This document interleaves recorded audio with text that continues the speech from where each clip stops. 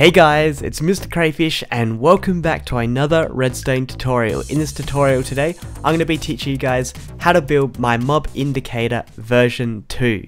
Now if you remembered in the first version, it uses redstone lamps to tell you whether it's safe or not to go outside. Well now it's actually using a beacon, so this could be useful um, if you're actually in your home or you're at a distance from your home, you can simply see the beacon light here and it will tell you whether mobs are spawning or not. Now right now the beacon is green and this indicates that no mobs can spawn right now but if we go ahead and we set the time to, say time set 12,300, 12,300 you can now see that a warning light has come up, it's saying yellow so it's best to get inside doors but if it gets to 12,500 here as you can see it's gone to red and this means that mobs can now start spawning. Now I'm going to show you guys how you can build this now. So the materials that you are going to need is 24 redstone dust, 2 redstone torches, 4 redstone repeaters, 3 sticky pistons, 1 daylight sensor, 1 beacon, 2 obsidian, 9 blocks of iron, one green stained glass, one yellow stained glass, one red stained glass, and 64 blocks of your choice. So the first thing that we are going to do is dig a 3x3 hole in the ground, so go one, two, three, and then dig this back two more times.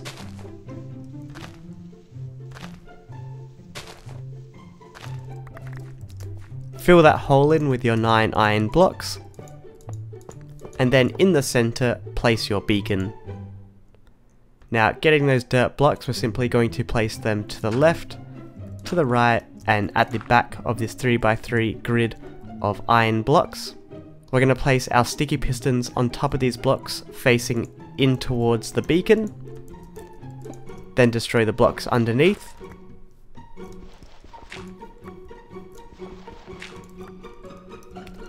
behind the beacon here, so this is the front, behind it, facing towards the right, we're going to place a repeater going in that direction, we're then going to place a repeater under this piston here, going in the other direction, then place two redstone at the ends of each of the repeaters here, we're then going to place a piece of redstone dust to the left and the right of the beacon, and then one going outwards. Now set these repeaters here to a full tick delay, so right to the end, and then go ahead and quickly place a redstone torch down next to the redstone and then break it so it goes on a clock. Behind the left and the right pistons here, what we're going to do is get our blocks of choice out, place a block behind it, then we're going to place another one but go down one layer, and then place a block on top of the redstone next to this block here, so one there, and the same with the other side, this one's next to that block, so we're going to place one on top of that. Now place redstone on top of these end blocks here, so two like so.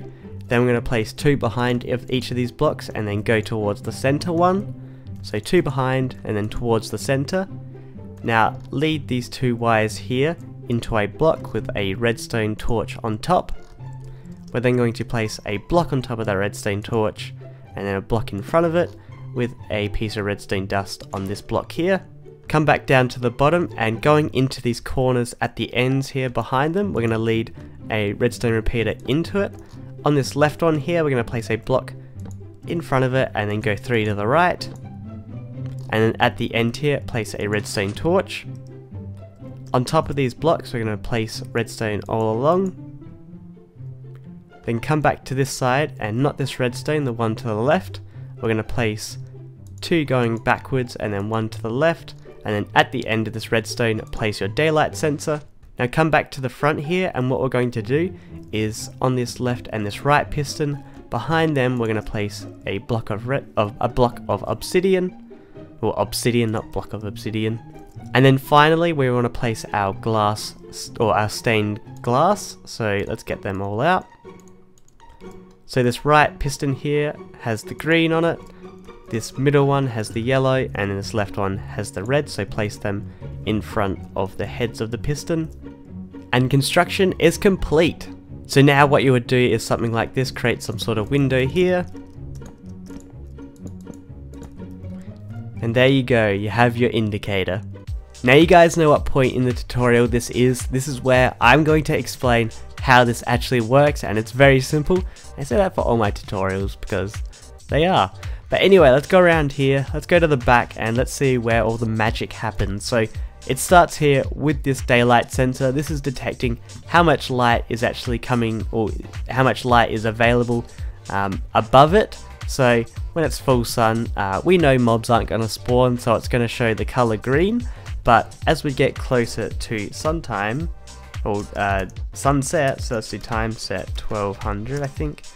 Okay, it's not that. I think it's 500. Oh, not that far. To 12,300, the light will go yellow, so this is indicating that mobs are going to spawn really soon. And then when it gets to about uh, 12,500, it means mobs can start spawning now.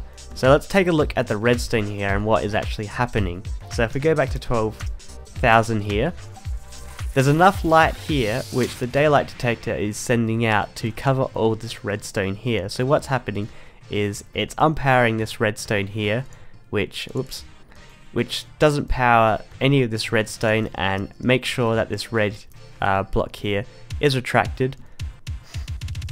On this side here, what's happening is it's going up to this block here from this signal from the daylight detector. It's powering this repeater this redstone here is powering this block which turns off that torch and makes sure that this piston here is retracted and not extended so the yellow doesn't come on. But as you can see this redstone wiring here is coming up powering this piston here and we know that mobs can't spawn so we're to make sure it displays the green block. So that's what's happening right now. Let's push this piston out, put the green block in front of the beacon and now uh, it's indicating that it's safe uh, that mobs won't spawn. Now let's go on to the next stage, which is the yellow one. And as you can see, this is no longer reaching the end, but it's still reaching this one on the side here, which is unpowering this torch. Now, what we have here is basically an AND, so basically both of these wires on the left and the right have to be unpowered for this middle one to come on, and as you can see, they are. So this torch can come on, which powers this piston here and extends the yellow one in front and that gives off the yellow signal. Now when it's night time, so let's go to 13 or let's go 12,500, there's not enough signal from the daylight detector here to reach this end of the block or either this one so it now allows this redstone torch here to come on and this here powers that redstone repeater, powers this block turning off this redstone torch that retracts the yellow block and then we got redstone going this way, which that powers this piston here and pushes the red block in front. Now if you're wondering what this redstone underneath here is, this is simply just sending out a block update to these sti these sticky pistons because if we didn't do that, um, if this red block here was to retract, um, this green one here wouldn't actually get pushed forwards. So we're going to make sure that they do get pushed in front of the beacon here when they're supposed to.